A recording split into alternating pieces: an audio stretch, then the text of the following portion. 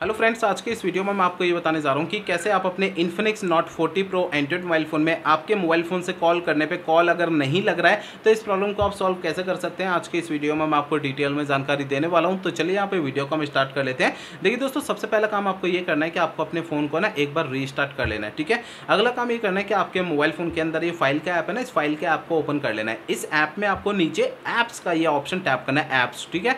अगले पेज में सबसे ऊपर सिस्टम ऐप लिखा हुआ है, इसे टैप करना है। अब आपको इस पेज में नीचे आना है। नीचे आपको ये एंड्रॉइड सिस्टम एंड्रॉइड सिस्टम पे टैप करना है। इसके अगले पेज में आपको स्टोरेज एंड कैच का ये ऑप्शन टैप करना है। अब यहाँ पर आपको नीचे क्लियर कैच पे टैप करना है। तो आपका कैच के सामने डेटा ज़ीरो हो जाता है, ठीक है? अब देखिए, अगला काम ये करना है कि आपके फ़ोन का जो सिम कार्ड होता है, उसे मोबाइल से बाहर निकाल लेना है। और जो मोबाइल का सिम ट्रे होता है ना, उसमें दो स्लॉट होती है सिम वन और सिम टू तो आपने जो सिम कार्ड सिम वन में अगर लगा रखा है ना पहले से तो उसे सिम टू में एक बार लगा के देख लेना है, ठीक है? इससे भी प्रॉब्लम सॉल्व हो जाती है। मतलब कि सिम स्लॉट एक बार चेंज करके देख लेना है सिम से, ठीक है ना? अब देखिए, अगला काम ये करना है इंटरनेट चालू करके मोबाइल फ़ोन का सेटिंग पेज ओपन करना है, सबसे ऊपर आपको सर्च सेटिंग पे टैप करना है, यहाँ पे सबसे ऊपर सर्च बार में रिसेट सिस्टम अपडेट आपको लिखना है सिस्टम अपडेट ठीक है? आपको नीचे सिस्टम अपडेट का ऑप्शन शो होगा, इसे टैप करना है, अब आपको इस पेज में नीचे ऑनलाइन अपडेट पे टैप करना है। अब आपको इस पेज पे कोई भी अपडेट का बटन या डाउनलोड इंस्टॉल अगर यहाँ पे लिखा हुआ दिखाई देता है तो उसे आपको टैप करके फ़ोन का सॉफ्टवेयर अपडेट करना है, ठीक है?